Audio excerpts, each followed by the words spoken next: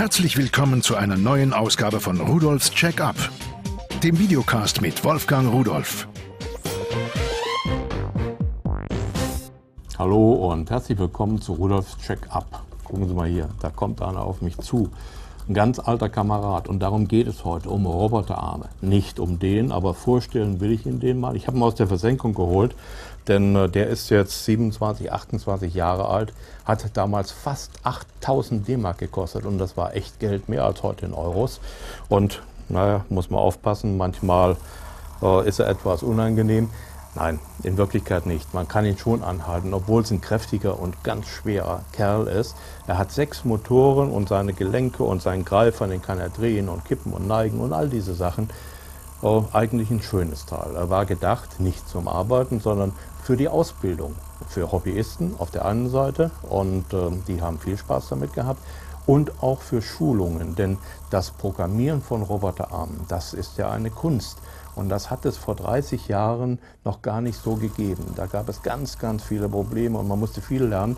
Und sowas stand dann in diesen Ausbildungszentren und da haben dann die Leute daran geübt, programmiert und haben dann die großen Maschinen wirklich auch bearbeiten können und programmieren können und einsetzen können. Aber ich will Ihnen mal zeigen, wie es denn hier überhaupt in der Anleitung aussieht. Die habe ich auch noch im Original. Wenn wir da mal reinschauen, alles schön aufgeführt. Da sind also viele Skizzen und so weiter drin. Aber es gibt so etwas Besonderes, was ich Ihnen eigentlich zeigen will. Denn das spricht für die damalige Zeit, für den Zeitgeist. Es gab hier nur Personalcomputer. Da gab es TRS-80, da gab es Apple und so ein paar Sachen und Dinge, die man heute gar nicht mehr kennt. Und hier habe ich zum Beispiel ein Programmlisting von Apple für den Apple II da drin. Man hat einfach hier ein paar Zeilen abgedruckt mit L-Print-Befehlen, denn der Arm wird parallel angesteuert über die Druckerschnittstelle. Und das konnte man dann abtippen und da hat man dann anschließend äh, per Programm die Sache bedienen können bzw. steuern können. Man musste dann natürlich die Parameter ändern und konnte ein eigenes Programm daraus entwickeln. Heute ist das ganz anders. Heute schiebt man einfach eine DVD oder CD rein äh, und die Sache ist erledigt. Es wird ein Programm installiert. Es gibt kaum Geräte ohne Programme. Und hier zum Beispiel noch eine Geschichte. Da haben wir ein, äh, die Platinenzeichnung von diesem Roboterarm. Und da wird erklärt, wie man äh, Arbeitsspeicher erweitern kann oder sogar eigene ROMs reinstecken kann, wenn man das Ding selbst programmiert hat. Vergangene Zeit war alles mal. Und jetzt wollen wir uns mit einem anderen befassen, mit diesem. Der ist viel kleiner, viel leichter viel schöner und viel, viel preiswerter. Dafür schalten wir den erstmal ab, der macht mir doch ein bisschen viel Krach. Von Playtastic ist dieser Roboterarm. Er kostet 49,90 Euro und äh, tja, er kommt in ganz vielen Einzelteilen. 139 Teile, fünf Motoren, fünf Getriebe, die man auch selbst zusammenbauen muss. Jedes Getriebe hat 1, 2, 3, 4, 5, 6 Zahnräder. Und äh, dann gibt's noch äh, Zahnräder, die anderweitig eingebaut werden, in den Arm vorne und sowas. Also es ist schon äh, ein bisschen Arbeit. Ungefähr drei Stunden braucht man dafür. Der Hersteller sagt etwas von, ja, ab zwölf Jahre geht es, aber unsere Mädchen und Jungs, die sind heutzutage ziemlich fit im Kopf und äh, die schaffen das eigentlich auch früher. Was wichtig ist, es ist kein Erstlingsprojekt. Also wenn jemand noch niemals mit dem Schraubendreher in der Hand irgendwas gebastelt hat, ähm, naja, also man muss ein bisschen Erfahrung haben, wie die Sachen zusammengehören könnten. Die Anleitung ist zwar gut, die ist in Deutsch auch richtig schön bebildert, äh, aber manchmal sind die Sprünge groß. Da muss ich ja schon mal überlegen, was meinen die jetzt? Wie sieht denn das Teil aus? Was ist das jetzt für ein Teil? Und äh, naja, also versuchen Sie es einfach. Insgesamt hat der Aufbau Spaß gemacht und jetzt hat es auch Spaß gemacht. Fangen wir doch mal an. Was ist das eigentlich? Wir haben hier vorn an dieser Stelle einen Greifer. Und dieser Greifer, das ist wie so zwei Finger, die man öffnen und schließen kann. Und da sitzt der Motor, der Antriebsmotor für diesen Greifer. Der nächste Motor, das ist dieser hier, das heißt, das Gelbe ist immer das Getriebe. Der Motor sitzt dann drin, von dieser Seite hier von hinten zum Beispiel. Äh, und äh, dieser Motor ist dafür da, dass das Handgelenk gekippt werden kann mit dem Greifer da vorne dran. So, und dann wenn wir weitergehen, dieser Motor hier, das ist quasi der Ellbogen. Wie der funktioniert, wissen Sie alle. Und hier unten, da haben wir wieder ein Getriebe mit einem Motor. Äh, da an dieser Stelle ist quasi das Schultergelenk dieses Roboterarms. So, einer fehlt noch. Der ist versteckt hier unten drunter, da drin eingebaut. Und zwar dreht der diesen ganzen Arm hin und her, rechts und links.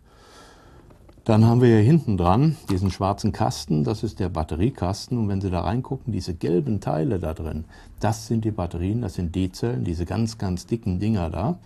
Und wenn man die erneuern will, dann muss man drei Schrauben lösen und das Oberteil abnehmen. So, jetzt sind wir gerade und sehen hier diese kleine Platine an dieser Stelle. Und diese Platine, nun, da ist gar keine Elektronik drauf. Brauchen wir auch nicht. Denn hier ist der Anschluss der Batterie. An dieser Stelle hier ist der Mittelpol zwischen den Batterien, denn das Teil hat eine symmetrische Spannungsversorgung. Da spart man sich Polwendschalter in der Fernbedienung nachher. Und hier an dieser Stelle, da ist schon der erste Motor angeschlossen. Und zwar der, der versteckt unten in dem Fuß ist, der quasi den ganzen Arm dreht. So, was brauchen wir noch? Ja, hier hinten. An diesen Anschluss kommt später die Fernbedienung dran. Aber jetzt wollte ich ihn erstmal zumachen. Ich habe nur mal aufgelassen, damit ich Ihnen etwas zeigen und erzählen kann. Aufpassen, dass man keine Kabel einklemmt. Da hinten rein, Schraubendreher, das hier festdrehen. So, was Sie eben vielleicht schon gesehen haben, das guckt jetzt hier oben raus. Da an dieser Stelle ist eine Pfostenleiste und da werden jetzt die Motoren angeschlossen. Fangen wir doch mal an. Der Motor für den Greifer, für diese Finger, das ist dieses Kabel hier, das gelb-schwarze. Das kommt zuerst da drauf. Der nächste Motor, der ist für das Handgelenk, das Handgelenk zu kippen. Und muss man aufpassen, da ist schwarz immer von hinten gesehen auf der rechten Seite. So, der nächste Motor, das ist der für den Ellbogen. Ja, der kommt als nächster. Und dann haben wir den Motor, der für das Schultergelenk zuständig ist. Der kommt da drauf. Fertig? Noch nicht. Hier ist noch ein Kabel übrig habe ich Ihnen noch gar nicht verraten. In dem Greifer ist eine Leuchtdiode drin und diese Leuchtdiode kann man ein- und ausschalten von der Fernbedienung. Das zeige ich Ihnen nachher noch, wenn wir den Greifer aufmachen. So, aber jetzt haben wir alles angeschlossen und jetzt wird die Fernbedienung geholt und die wird auch angeschlossen, da hinten an diese Steckerleiste. So, und jetzt sollte es eigentlich gehen. Die Fernbedienung selbst, die hat vier solche nach oben und unten bewegbare äh, Knüppel und hier einen für die Seite, für rechts und links. Sie hören das vielleicht im Hintergrund schon. Das Ding läuft also. Und die muss selbst zusammengebaut werden. Die kommen als Platine mit Kontaktfedern. Die müssen draufgeschraubt werden und die Dinger eingehangen, diese Bedienhebel. Jo, und dann war's das. Ach so, eine Sache noch hier. Dieser Schalter, der ist für die Leuchtdiode, um das Arbeitslicht ein- und auszuschalten. So, jetzt gucken wir uns aber den Roboterarm mal an, wenn ich ihn jetzt bediene. Und zwar kann ich als erstes mal den Arm drehen, damit er etwas mehr zu Ihnen kommt. Wenn Sie das das erste Mal machen, beobachten Sie bitte die Kabel, ob die Kabel auch alle richtig verlegt sind, denn äh, die sind zwar lang genug, aber wenn man sie falsch verlegt, dann sind sie kurz und dann könnten Sie den Motor bremsen. Vielleicht geht irgendwas kaputt, ich weiß es nicht, ich habe es nicht versucht. Jetzt haben wir vorne diesen, dieses Handgelenk hoch und runter. Und wenn wir jetzt dieses Handgelenk öffnen, dann schalte ich auch mal die Leuchtdiode ein. Schauen Sie da, ein, aus. So, und die ist genau in dem Greifer drin beleuchtet, also das, was man haben oder heben will. So, und jetzt könnte ich also, ich könnte eigentlich mal, ich habe eine Spielkugel mitgebracht, mal sehen, ob ich die hier erreichen kann. So. Ne, das war die verkehrte Richtung. So, machen wir die Hand mal ein bisschen weiter auf. Und jetzt kippen wir noch ein bisschen weiter runter. Na, ist doch was. Und jetzt die Hand zu. Er hebt bis zu 100 Gramm. So, und wenn ich jetzt äh, den Arm nach oben bewege, dann sehen Sie, er hält seinen Ball fest. Und jetzt habe ich auch die Möglichkeit, ich kann ihn auch wieder fallen lassen. Achtung. So. Ja, also ein äh, sehr schönes Spielzeug. Man lernt viel dabei. Man versteht, was, wo, in welchem Getriebe, in welchem Motor, wo und wie passiert. Und äh, jo, was mache ich denn jetzt damit? naja, ich bin ja ein bisschen, bisschen computerverrückt, möchte ich mal sagen. Und äh, da ist es dann irgendwann langweilig, immer das so immer wieder zu machen. Und Computer kann ja etwas, äh, und zwar das, was wir uns wünschen, stupide Arbeiten, die immer wiederkehren, automatisch verrichten. Da gibt es eine Erweiterung dazu. So, der kleine Karton, den ich hier in der Hand habe, das ist diese Erweiterung. Eine USB-Erweiterung, auch von Playtastic, für den Roboterarm kostet 19,90 Euro. Wenn man es gleich zusammenkauft mit dem Roboterarm, ist nur 10 Euro Aufpreis, also insgesamt 59,90 was ist da drin? Ja, eine CD, ein Handbuch, eine Platine. Denn diese kleine Platine, die ich hier äh, bisher hatte, wo die Fernbedienung dran angeschlossen ist, wird jetzt ersetzt durch diese Platine. Auf der Unterseite können Sie nicht sehen, befinden sich vier Chips drauf, die das Handling machen und diese äh, USB-Geschichte zur Verfügung stellen. So, und da ist eine andere Abdeckung dabei, weil hier jetzt ein Schalter drauf ist und da ein anderes Loch, unerheblich eigentlich. Ich habe es schon alles angeschlossen und will Ihnen jetzt mal zeigen, wie es funktioniert. Programm ist auch installiert, USB-Treiber ist auch dabei. Und jetzt habe ich verschiedene Möglichkeiten. Ich habe einmal hier einen einfachen Programmmodus und jetzt kann ich über die Tasten kann ich den Roboter bedienen. Und Sie sehen auch immer auf dem Bildschirm, welcher Motor in welcher Richtung bewegt wird.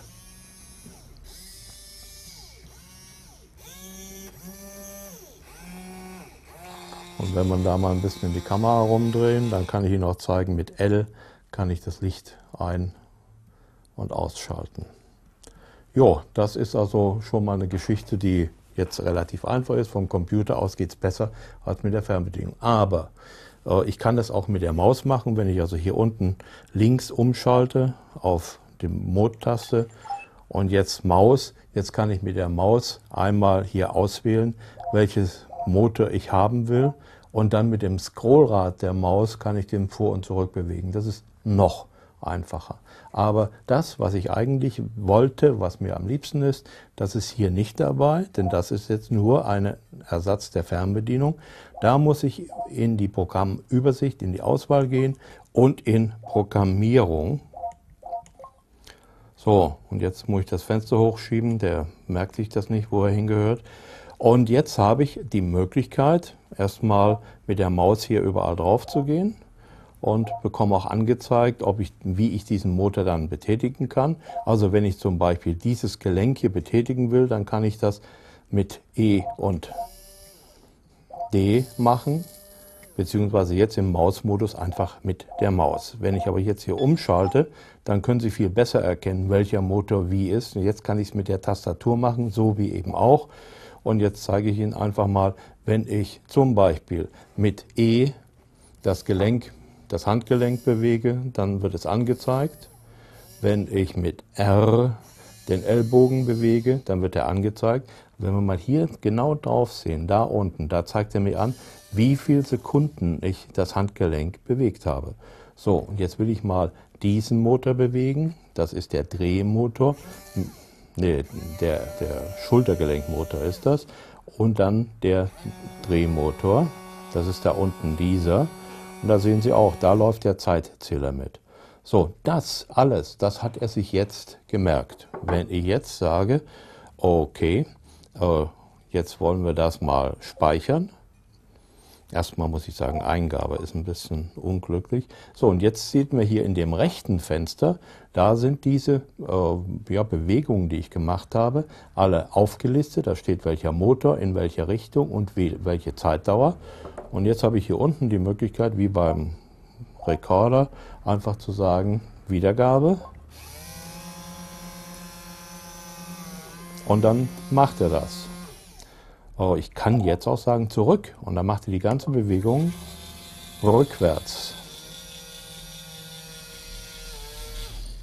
Und Sie können sich vorstellen, da kann man ziemlich komplexe Bewegungen programmieren. So, dann sind wir eigentlich am Ziel unserer Wünsche angekommen. Wir können also jetzt unseren Kaffee mit Zucker versehen und umrühren oder was auch immer. Es gibt unglaublich viele Möglichkeiten. Das ist also nicht nur ein Spielzeug, sondern das ist ein didaktisches Werkzeug von sehr hoher Güte. Insgesamt, ich will jetzt nochmal sagen, das äh, 50 Euro, knapp 50 Euro. Und das äh, Interface, das USB-Interface, knapp 20 Euro. Und im Bundle kostet es knapp 60 Euro. Das ist, glaube ich, ein erträglicher Preis. Der Spielspaß liegt viel, viel höher. Und das, was man damit lernen kann, noch mehr. Ich wünsche Ihnen viel Spaß bei der Technik und Tschüss.